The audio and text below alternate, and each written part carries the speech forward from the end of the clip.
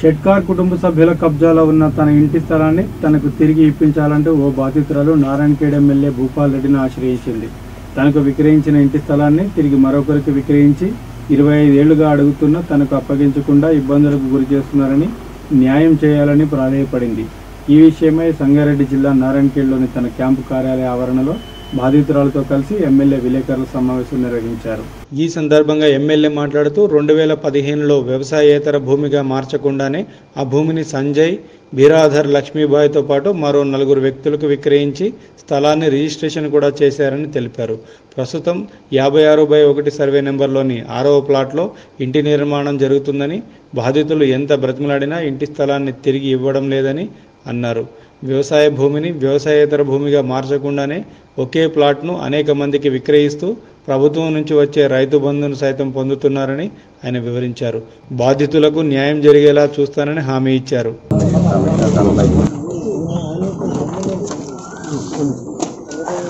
చెట్కాలు ఇంత మోసగాలన్నట్టు అర్థం చేస్తాం మనసులు వచ్చిందంటే అంత పని పెండింగ్లో ఉంది.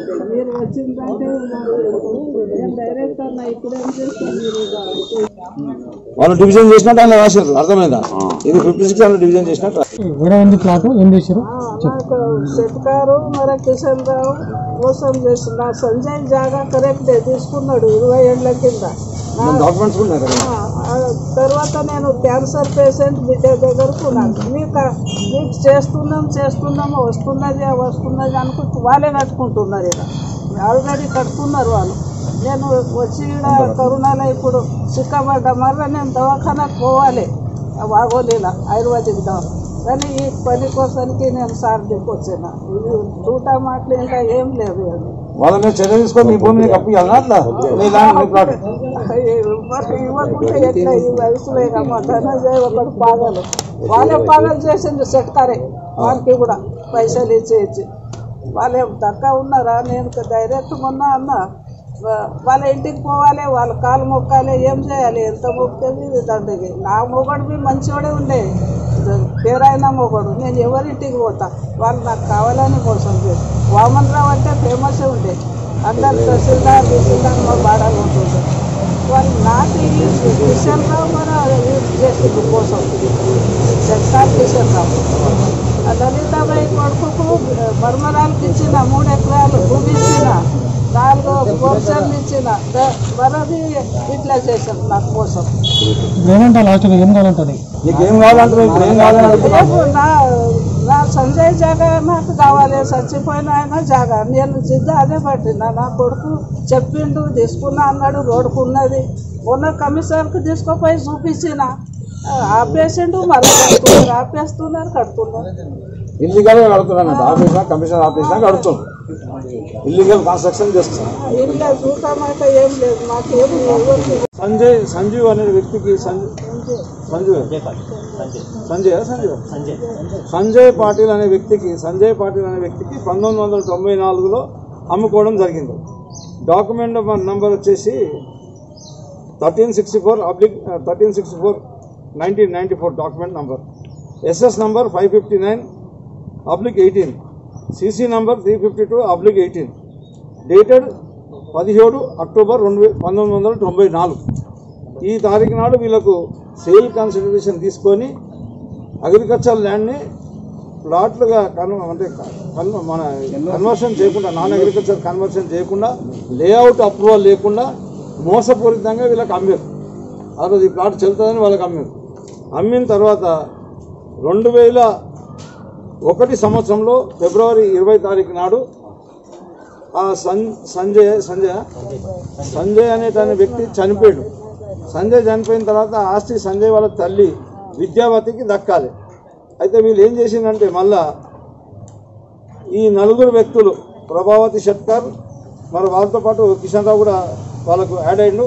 ఈ పెద్ద మనిషిని ఓల్డ్ ఏజ్ని ఆసరా చేసుకొని ఆమె దగ్గరికి పోయి ఆమెను మోసం చేసి ఆమె డాక్యుమెంట్లు గుంజేసుకొని దాంట్లో మీకు లాభం చేస్తే అది చేస్తే ఇది చేస్తా అని చెప్పేసి అతను వాళ్ళతో కుమ్మకై ప్రభావతి షెట్కర్ సురేష్ కుమార్ షెట్కర్ నాగేష్ కుమార్ షెట్కర్ జితేంద్రనాథ్ షెట్కర్ సన్ వీళ్ళందరూ son of Shivraj Shetkar Prabhavati Shetkar wife of Amarnath Shetkar వీళ్ళు అందరూ మళ్ళా ఎవరికైతే నాగేష్ షెట్కర్కు జీపీఓ చేసినారో మళ్ళీ అదే వ్యక్తులు మోసపూరితంగా మరి వీళ్ళను కూడా మోసం చేసినప్పుడు బిరాదర్ లలితాబాయి వైఫ్ ఆఫ్ పండర్నాథ్ రావు కూడా మోసం చేసి రెండు వేల పది పదిహేను సంవత్సరంలో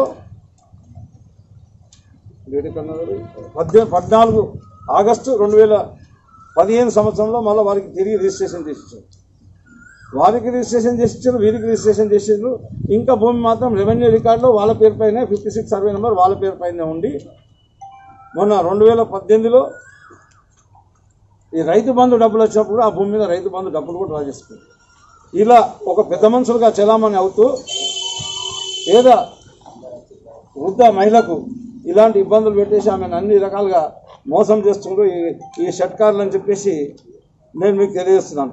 అంటే వీళ్ళు చెప్పేదేమో శ్రీరంగ నీతులు జొరేటి ఏమో దొమ్మరు గుడిసెలు. వాళ్ళు చేసేది అన్నీ ఇటువంటి పనికిమాల పనులు ఇది ఒక్కటే లేదు. ఈ లేఅవుట్లో చేసిన ఇలాంటి ఇంకెన్నో ఉన్నాయి. వాళ్ళు భయభ్రాంతులకు గురి చేసి మిగతా వాళ్ళందరికీ మోసం చేసి ఇదే మాదిరిగా అమ్మిన ప్లాట్లు మరో వేరే వాళ్ళకి అమ్ముకొని సొమ్ము చేసుకుంటున్నారు మరి పేదోళ్ళకు అన్యాయం చేస్తున్నారు మరి వాళ్ళపైన తప్పకుండా ప్రభుత్వం చర్య తీసుకోవాలని చెప్పేసి వీరు కూడా వాళ్ళపైన ప్రభుత్వం దృష్టికి తీసుకెళ్ళి కంప్లైంట్ కూడా ఇవ్వబోతున్నారు తప్పకుండా చీటింగ్ చేసిన వాళ్ళపైన ఫోర్ ట్వంటీ కేసు రిజిస్టర్ అవుతుంది వీళ్ళపైన కూడా ఫోర్ ట్వంటీ కేసు రిజిస్టర్ అవుతుంది చీటర్స్ కాబట్టి వాళ్ళకి ఫోర్ ట్వంటీ కేసు రిజిస్టర్ చేసి చట్ట ప్రకారం చర్యలు తీసుకునే కొరకని నేను ఈ విద్యావేత్త గారికి అన్ని రకాలుగా అండదండగా ఉండి నేను ఆదుకుంటానని చెప్పేసి తెలియజేస్తున్నాను.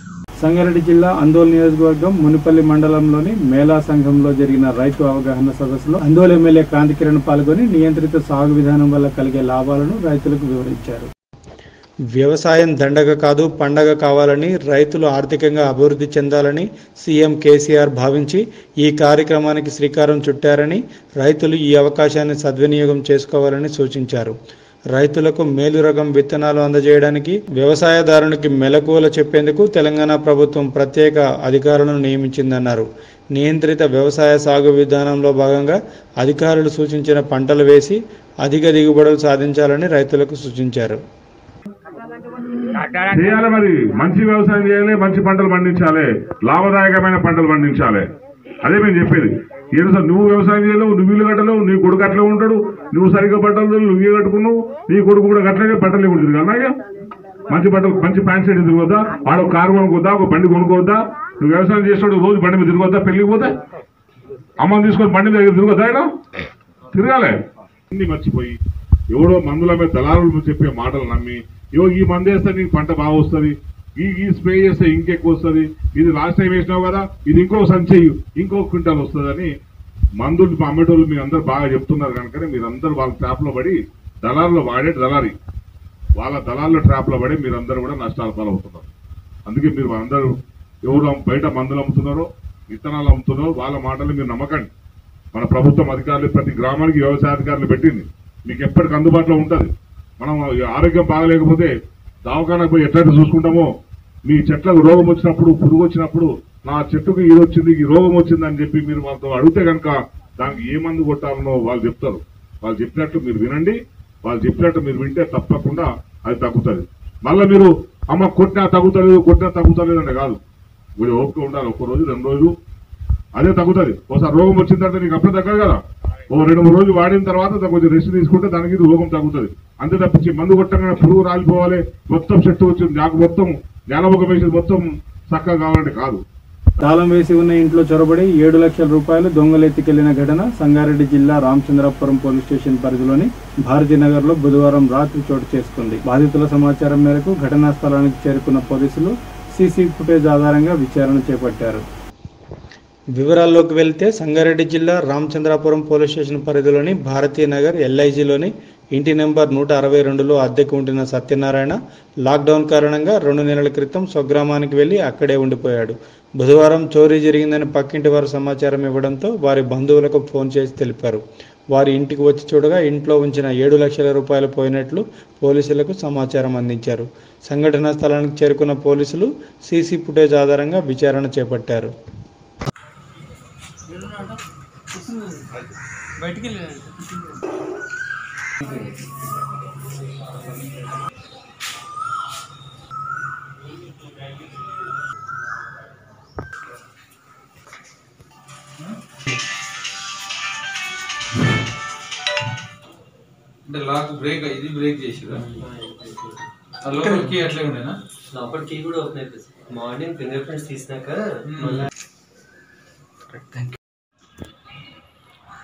సార్ నా పేరు ప్రసాద్. నేను సత్యనారాయణ గారికి కజిన్ మా బ్రదర్ ఊరెళ్ళి టూ మంత్స్ అవుతుంది. లాక్డౌన్ కారణంగా అక్కడ ఉండిపోయారు. ఆయన వచ్చేసరికి నేను ఇట్లా దొంగతనం జరిగిందని పక్క వాళ్ళు చెప్తే వచ్చి చూసాం మేము. వాళ్ళు ఫోన్లో చెప్పిన సమాచారం ప్రకారం బీరువాలో వల్ల ఒక సెవెన్ ల్యాక్స్ వరకు క్యాష్ ఉండే. అది పోయినట్టుగా తెలిసింది. మిగతాది వాళ్ళు వచ్చి చూస్తే కానీ తెలియదు అమీన్పూర్ మండలం పటేలగూడలో నియంత్రిత వ్యవసాయ సాగు విధానంపై ఏవో స్నేహాలక్ష్మి ఎంపీడీఓ మల్లేశం తహసీల్దార్ విజయ్ కుమార్ ఆధ్వర్యంలో రైతులకు అవగాహన సదస్సు నిర్వహించారు. ఈ కార్యక్రమంలో జడ్పీటీసీ సుధాకర్ రెడ్డి ఎంపీపీ దేవానంద్ సర్పంచ్ నితీశ శ్రీకాంత్ తదితరులు పాల్గొన్నారు. కావాల్సిన వరకు ప్రతి గ్రామంలో మనము రైతులను అభివృద్ధి చేసుకోవడానికి మన రాష్ట్ర ప్రభుత్వ ఆదేశాల ప్రకారం ఏ ఏ విలేజ్లలో ఏ మంటలు ఏ పంటలు పెట్టాలని మనకు అవేర్నెస్ కల్పించామని మనకు ఆదేశాల ప్రకారం మనం ఇప్పుడు ఈరోజు ఇక్కడికి వచ్చాము. ఇప్పటివరకు తమరు చెప్తారు రైతులు చెప్తారు ఇప్పటివరకు మన మేడం గారు ఎవరెవరు ఏమంటారు సన్న వంగడాలు వాడాలి అని చెప్తున్నారు. ఒక ఎకరం అంటే ఒక రెండు ఎకరాలు ఒక మనిషికి ఉంటే ఒక వన్ ఎకర్లో సన్నవంగడం వాడమని ఇంకో వన్ ఎకర్లో తమ ఇంటికి సంబంధించిన వాడుకోమని చెప్తారు అది నూట పది రోజులు ఉంటుంది. ఒక పది రోజులే తడి వీళ్ళకి వాటర్ చివరి వరకు అందుతాయి కాబట్టి ఇబ్బంది ఏమి ఉండదు. కాబట్టి మనము వరిలో సన్న రకాలని ప్రిఫర్ చేస్తున్నాం ఇక్కడ ఒక యాభై శాతం వరకు వేయించే ప్రయత్నం చేస్తున్నాము. నియంత్రిత వ్యవసాయ సాగు అంటే ఏ ఏ పంటలకు ఎక్కువ మార్కెట్ వాల్యూ ఉందో ఆ పంటలే మనము పండించుకొని అమ్మితే రైతుకి దానికి సంబంధించిన ధర బాగా వస్తుంది. మార్కెట్లో అవి గిట్టుబాటు అవుతాయి మార్కెట్లో బాగా అని మాత్రమే పంటల గురించి ఈ పంటలు మాత్రమే అంటే ఏ ఏ మండల్లో ఏ ఏ వేస్తే బాగుంటాయి అక్కడి నుంచి ఆ నీళ్ళలు అవన్నీ ఏవి సూటబుల్ ఉన్నాయి అని చూసి ఏ మండల్లో ఏ పంట అనేది సైంటిస్టుల ద్వారా నిర్ధారించి ఈ పంటలు ఇప్పుడు రైతులకు చెప్పడం జరుగుతుంది. ఈ పంటలు వచ్చేసి మనం ఏ వేసుకుంటే మనకి ఎక్కడెక్కడ ఎట్లా అమ్ముకోవచ్చు అనేది కూడా తర్వాత తర్వాత మనం వాళ్ళకి చెప్పడం జరుగుతుంది. ఫస్ట్ ఇప్పుడు జస్ట్ అవగాహన మాత్రమే ఇస్తున్నాము. తర్వాత పంటలు ఎవరెవరు వేస్తున్నారు ఎట్లా వేస్తున్నారు ఇవన్నీ కూడా నోట్ చేసుకుంటాము. ఆ తర్వాత రేపు ఫర్దర్ ఫ్యూచర్లో అవి పంటలు వచ్చినాక అవి ఎలా అమ్ముకోవాలి ఏంటి మొత్తం వాళ్ళకి చెప్పడం అయితే జరుగుతుంది. సంగారెడ్డి సత్యసాయి సేవా నిలయంలో గురువారం సంగారెడ్డి సమితి ఆధ్వర్యంలో మల్కాపూర్ పరిధిలోని రెండు వందల యాభై మంది పేదలకు పులిహోర ప్యాకెట్లు పంపిణీ చేశారు. ఈ కార్యక్రమంలో శ్రీనివాస్ రాజేశ్వరి రవి మాధురి సుమన్ లత మాధవి అనురాధ బాలకృష్ణ శ్రీనివాస్ అనిత అర్జున్ విజయ్ కృష్ణ సూర్యనారాయణ రాజేష్ కుమార్ తదితరులు పాల్గొన్నారు.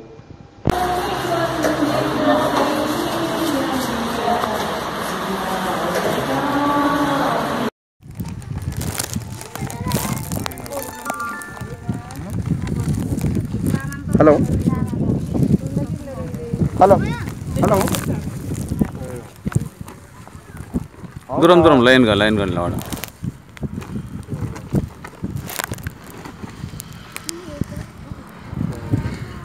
అవును వస్తారు వస్తారు వాళ్ళు. ఆరు గంటలకు వస్తారు యాక్చువల్గా తొమ్మిది గంటలకే అన్నారు కానీ వాళ్ళది ఒకటి పని పడ్డది అర్జెంటు.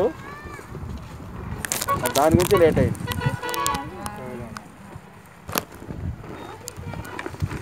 Okay okay.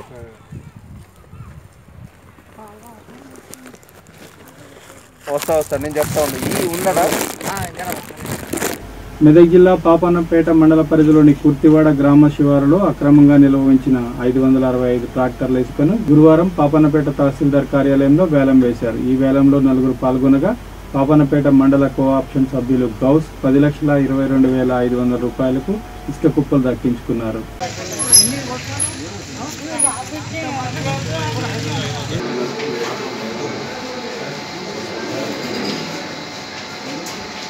పేట మండలంలోని కుర్తివాడ గ్రామంలో ఐదు వందల అరవై ఐదు ట్రాక్టర్ల ఇసుక డంప్ చేసిన వాటిని వేలం వేయడం జరిగింది. ఈ వేలంలో నలుగురు పాల్గొన్నారు. ఈ నలుగురిలో మనం వేలం పాట స్టార్ట్ చేయగా అంటే మన ప్రభుత్వ నిబంధన ప్రకారం పద్దెనిమిది వందలకు ఒక ట్రాక్టర్ చొప్పున పది లక్షలు పదిహేను వేలు అవుతే పది లక్షలు పదిహేను వేల నుంచి పాట మొదలు పెట్టడం తక్కువ చేయకుండా గతంలో పొరపాటులో చెప్పినట్టే మళ్ళీ వాళ్ళు అవి ఏదైతే డంపులు ఉన్నాయో వాళ్ళ లిస్ట్ కూడా వారికి ఇవ్వడం జరుగుతుంది. ఎవరన్నా విదేశంలో కూడా ఏమైనా మళ్ళీ ఇప్పుడు ఏదైనా అంటే తప్పుడు ఏమైనా సృష్టించడం ఏదైనా ఇబ్బందులకు గురి చేస్తే కూడా మనం మేము మా ప్రసారం చట్టపడిన చర్యలు తీసుకుంటాం ఇందులో మేము మా విఆర్ఓ